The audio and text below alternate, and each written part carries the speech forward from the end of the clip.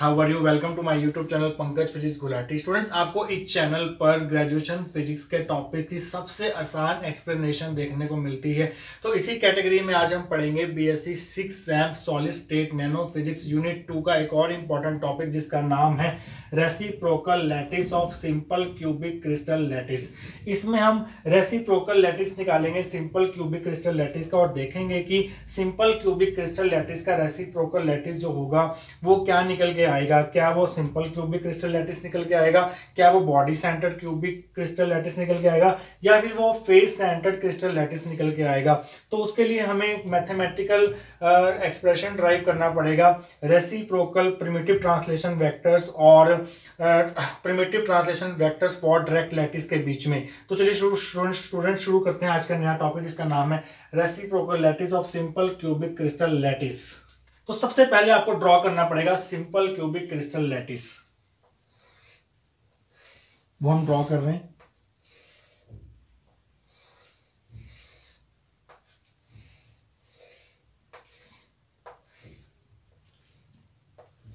ये है x axis ये है आपकी जेड एक्सिस और ये है आपकी वाई एक्सिस तो सबसे पहले हमें सिलेक्ट करना पड़ेगा स्टूडेंट्स एक ओरिजन ओरिजिन होगा ये। तो जो क्यूब हमने लिया है सिंपल क्यूबिक लिया है, और इसकी सिंपल क्यूबिक के अंदर जो एज लेंथ होती है, वो सबकी सेम रहती है। यहाँ से लेके यहाँ तक भी ए है। ये लेंथ भी आपकी ए है। ये लेंथ भी आपकी ए है। तो स्टूडेंट्स ओरिजिन से यहाँ तक की जो वेक्टर होगा, जिसको हम बोलेंगे ए वेक्टर वो किसके बराबर होगा? ए इंटू ए आई डॉट यहाँ से लेके यहाँ तक की लेंथ ए है तो साथ में आपको यूनिट वेक्टर आई कैप से मल्टीप्लाई करना पड़ेगा, जो कि है unit vector along x axis similarly यहाँ से लेके यहाँ तक जो वेक्टर होगा, हमारा प्रिमिटिव ट्रांसलेशन वेक्टर उसकी वैल्यू कितनी होगी? वो होगी हमारे पास c vector is equal to c k cap k cap is the unit vector along z axis तो इस सिमिलरली यहाँ से लेके यहाँ तक जो प्रिमिटिव ट्रांसलेशन वेक्टर होगा that will be b vector और वो कितना होगा हमारा? यहाँ पर आप सी नहीं ए लेंगे क्योंकि हर एक जो एज है वो ए लेंथ की है। यहाँ से लेके यहाँ तक भी ए है। और बी वेक्टर कितना होगा? Similarly a into j cap j cap is the unit vector along y axis student जब आपको ये टॉपिक पूछा जाएगा तो आप इसमें लिख के क्या आएँगे? आइए वो देखते हैं। Let a vector b vector and c vector be the primitive translation vectors of simple cubic crystal lattice along x, y and z axis. ABC a vector b vector c vector क्या है? ये है primitive translation vectors of simple cubic crystal lattice a vector है primitive translation vector along x axis b vector है primitive translation vector along y axis c vector है primitive translation vector along z axis simple cubic crystal lattice के अंदर जो atoms present होते हैं, वो सिर्फ़ कॉर्नर्स पे प्रेजेंट होते हैं।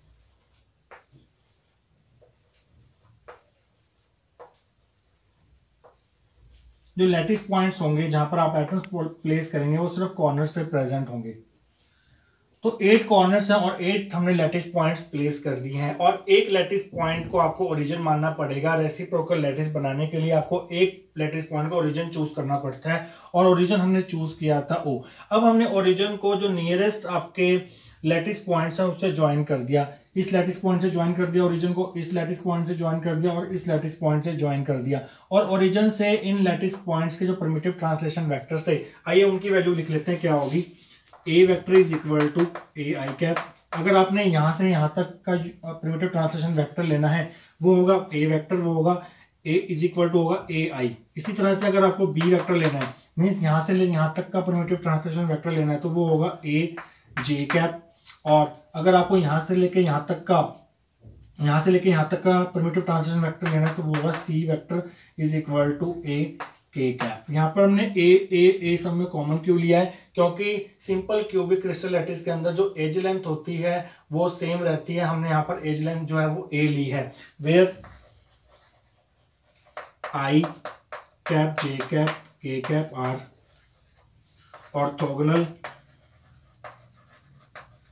unit vectors along x, y, z axis respectively.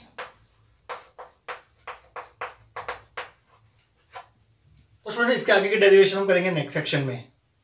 तो स्टूडेंट लास्ट सेक्शन में हम ए वेक्टर की वैल्यू निकाल चुके थे बी वेक्टर की वैल्यू निकाल चुके थे और सी वेक्टर की वैल्यू निकाल चुके थे। ए वेक्टर की वैल्यू थी a i cap b vector की वैल्यू थी a j cap c vector की वैल्यू थी ए के कैप तो स्टूडेंट्स अब हम क्या देखेंगे? हमारे पास लेट करेंगे हम। Let a star vector, b star vector and c star vector be the primitive translation vectors of reciprocal lattice. तो जो student simple cubic crystal lattice का रेसिप्रोकल लैटिस होगा, उसके जो, उसके अंदर भी प्रिमिटिव ट्रांजेक्शन वेक्टर्स होंगे, वो भी तीन होंगे उनको हमने लेट कर लिया a star vector is the primitive translation vector along x axis b star vector be the primitive translation vector along y axis and c star vector be the primitive translation vector along z axis in reciprocal lattice of simple cubic crystal lattice तो हमने a star b star c star जो है वो primitive translation vectors लिए हैं reciprocal lattice के अंदर अब स्टूडेंट हम हमें पता है कि जो a star means primitive translation vectors होता है रेसिप्रोकल लैटिस के अंदर जो ए वेक्टर होता है उनमें क्या रिलेशन होता है आपस में उनमें रिलेशन होता है इन तीनों में जो रिलेशन होता है a star b star c star और ए बी सी में जो आपस में रिलेशन होता है, वो रिलेशन होते हैं।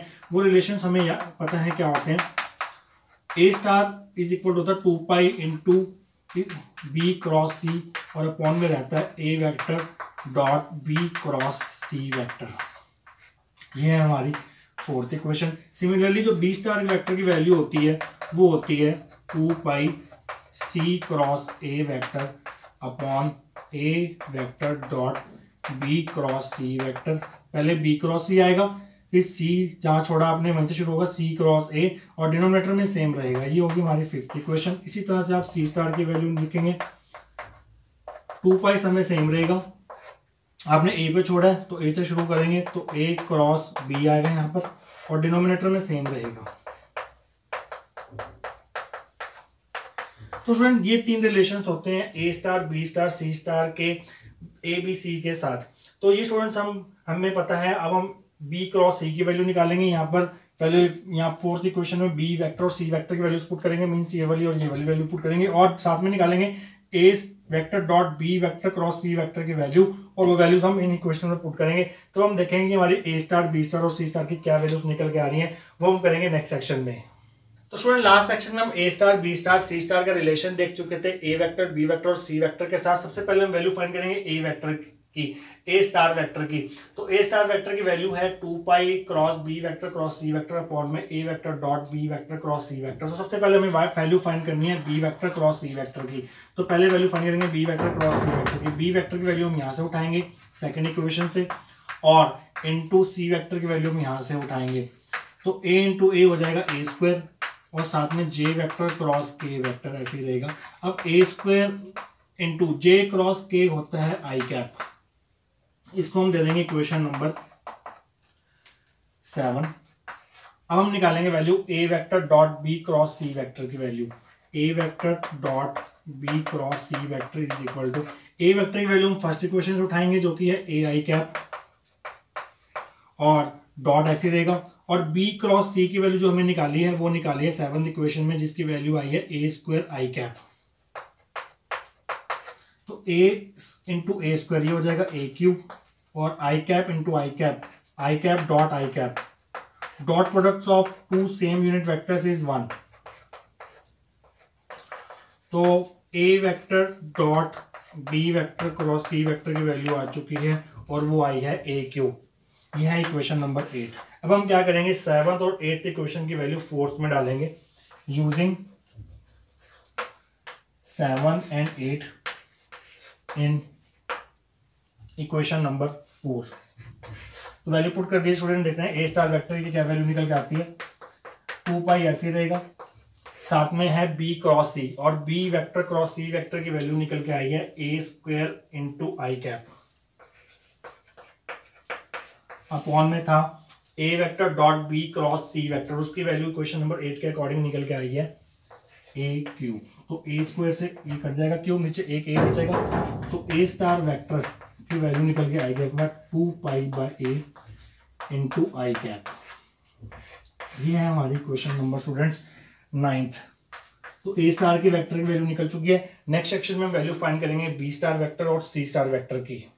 स्टूडेंट लास्ट सेक्शन में हम ए स्टार वेक्टर की वैल्यू निकाल चुके थे, जो कि निकल गए थे two pi by a i cap और स्टूडेंट लास्ट सेक्शन में हमने एट्थ इक्वेशन में निकाली थी। एट्थ इक्वेशन हमने क्यों लिखी रहने दिया क्योंकि अब ये यूज़ होगी a vector dot b vector cross c vector is equal to a cube आया था एट्थ इक्वेशन में। अब हमें स्टूडेंट निकालनी है बी स्टार वेक्टर की वैल्यू बी स्टार वेक्टर की वैल्यू इक्वेशन नंबर फाइव में थी। और इक्वेशन नंबर फाइव में देखिए क्या क्या टर्म्स आ रही है। राइट हैंड साइड में एक आ रहा है c vector cross a vector इसकी वैल्यू फाइंड करनी है और डिनोमिनेटर में आ रहा है a vector dot b vector cross c vector जिसकी वैल्यू हम एट्थ इक्वेशन में फाइंड आउट कर चुके हैं और इसकी वैल्यू डिनोमिनेटर की वैल्यू निकल के आई थी एट्थ इक्वेशन में, वो थी ए क्यूब वो हम एज इट इज़ यूज़ करेंगे यहाँ पर। तो सबसे पहले हमें फिफ्थ इक्वेशन को सॉल्व करने के लिए c vector cross a vector की वैल्यू फाइंड करनी है।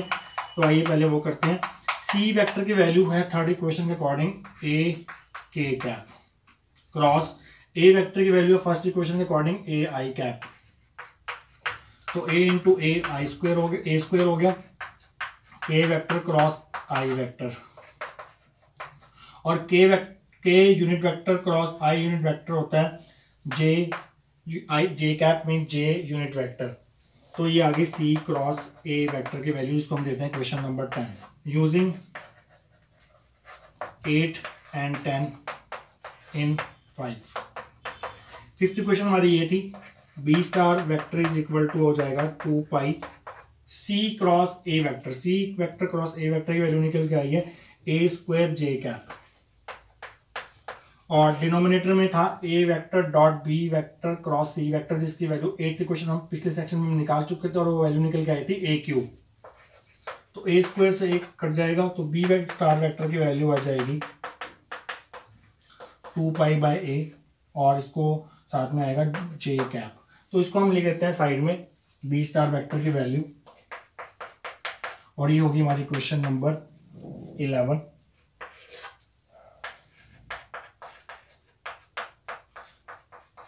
next section में स्टूडेंट्स फाइंड करेंगे सी स्टार वेक्टर की वैल्यू हम वैल्यू फाइंड कर चुके हैं. ए स्टार वेक्टर की वैल्यू फाइंड कर चुके हैं और बी स्टार वेक्टर की वैल्यू फाइंड कर चुके हैं. अब हमें लास्ट वैल्यू फाइंड करनी है, वो है सी स्टार वेक्टर और उसके बाद हम देखेंगे क्या क्या रेसिप्रोकल लैटिस निकल के आता है सिंपल क्यूबिक क्रिस्टल लैटिस के लिए? तो उसमें लास्ट सेक्शन में हम बी स्टार वेक्टर की वैल्यू फाइंड कर चुके थे, उसको दिया था हमने इक्वेशन नंबर इलेवन अब बारी है सी स्टार वेक्टर की वैल्यू फाइंड आउट करने की, जिसकी वैल्यू इक्वेशन नंबर सिक्स में हम निकाल चुके थे, लिख चुके थे पहले तो वो वैल्यू थी two pi into a vector cross b vector upon में a vector dot b vector cross c vector ये जो डिनोमिनेटर है सी स्टार वैक्टर में जो डिनोमिनेटर आ रहा है, ये सब में कॉमन था, चाहे वो ए स्टार वैक्टर हो, चाहे वो बी स्टार वैक्टर हो। तो ये चीज़ कॉमन रहेगी, सब में और टू पाई सब में सेम रहेगा। सिर्फ़ ब्रैकेट इस ब्रैकेट में चेंज आएगा सब में। ए स्टार वैक्टर में इस ब्रैकेट में आ रहा था B cross C vector B star vector में यहाँ पर आ रहा था C vector cross A vector, C star vector में यहाँ पर आएगा A vector cross B vector. तो हमें वैल्यू फाइंड करनी है A vector dot cross B vector की। तो हमें A vector cross B vector की वैल्यू फाइंड करनी है। ए वेक्टर हम उठाएँगे यहाँ से, ए आई, फ़र्स्ट इक्वेशन से। क्रॉस बी वेक्टर की वैल्यू हम उठाएँगे सेकेंड इक्वेशन से। तो इनको मल्टीप्लाई करेंगे जब तो ये आ जाएगा I cap cross J cap. और आई क्रॉस जे होता है हमारा के कैप। उसको हम देते हैं क्वेश्चन नंबर ट्वेल्व अब हम एट्थ इक्वेशन और ट्वेल्थ इक्वेशन को यूज़ करेंगे क्वेश्चन नंबर सिक्स में और वैल्यू फाइंड करेंगे सी स्टार वेक्टर की using twelve and eight in six you will get C star vector is equal to two pi ऐसे रहेगा। A cross B vector A cross B vector की value निकल के आई थी A square into K cap और denominator में था A vector dot B vector cross C vector उसकी वैल्यू एट इक्वेशन में हम निकाल चुके थे, वो थी ए क्यूब इससे ही कैंसिल हो जाएगा। तो आपके पास सी स्टार वेक्टर की वैल्यू निकल के आएगी टू पाई अपॉन ए के कैप इसको हम देते हैं क्वेश्चन नंबर थर्टीन और इसको भी हम साइड में लिख देते हैं। सी स्टार वेक्टर की वैल्यू निकल के आई है टू पाई बाय ए के कैप ये है थर्टीन इक्वेशन तो स्टूडेंट्स इसके आगे हम करेंगे नेक्स्ट स्टेप में। तो स्टूडेंट लास्ट सेक्शन में हम A star vector B star vector और सी स्टार वेक्टर की वैल्यूज़ निकाल चुके थे, जिनकी वैल्यूज़ निकल के आई थी two pi by A I cap B star vector की वैल्यू निकल के आई थी two pi by A J cap C star vector की वैल्यू निकल के आई थी टू पाई बाय ए के कैप अब हम कंपेयर करेंगे A vector B vector C vectors और A star vector B star vector C star vector को कंपेयर करेंगे, इनकी वैल्यूज़ को कंपेयर करेंगे और A vector B vector C vector है primitive translation vectors of direct lattice और A star vector B star vector C star vectors हैं primitive translation vectors of reciprocal lattice इनको अब हम कंपेयर करेंगे। देखिए, यहाँ पर स्टूडेंट आई कैप आ रहा है। यहाँ भी आई कैप आ रहा है। यहाँ पर कॉन्स्टेंट है ए यहाँ पर कॉन्स्टेंट है टू पाई बाई ए यहाँ पर जे कैप आ रहा है, यहाँ भी जे कैप आ रहा है। यहाँ पर constant two pi by A यहाँ कॉन्स्टेंट है ए यहाँ पर भी के कैप आ रहा है, यहाँ भी के कैप आ रहा है। यहाँ पर कॉन्स्टेंट है टू पाई बाई ए यहाँ पर कॉन्स्टेंट है एक ए तो कॉन्स्टेंट वैल्यूज़ को हम नेग्लेक्ट करते हैं, अगर तो हमारे दो ऑर्थोगोनल यूनिट वेक्टर्स हैं आई जे के आई जे के वो दोनों में सेम मैनर में प्रेजेंट है। तो हम ये कह सकते हैं कि जो रेसिप्रोकल लैटिस होता है सिंपल क्यूबिक क्रिस्टल लैटिस का, वो भी सिंपल क्यूबिक क्रिस्टल लैटिस ही होता है। तो लास्ट टाइम लिख के इस टॉपिक का एंड करेंगे। So reciprocal lattice of simple cubic crystal lattice is a simple cubic crystal lattice तो सिंपल क्यूबिक क्रिस्टल लैटिस का रेसिप्रोकल लैटिस भी सिंपल क्यूबिक क्रिस्टल लैटिस होता है। ये इस टॉपिक का कंक्लूजन निकल के आया है। तो स्टूडेंट्स ये आपको छह या आठ मार्क्स में पूछा जाएगा। तो आप इस इन A star vector B star vector C star vector derivation करके आएँगे और ये लास्ट में ये लाइन लिखेंगे और ये डायग्राम ज़रूर बनाएँगे। तो आपको पूरे मार्क्स मिल जाएँगे। स्टूडेंट्स ये था आज का टॉपिक आई होप आपको आज का लेक्चर समझ आया होगा। मिलते हैं नेक्स्ट वीडियो में। Thank you so much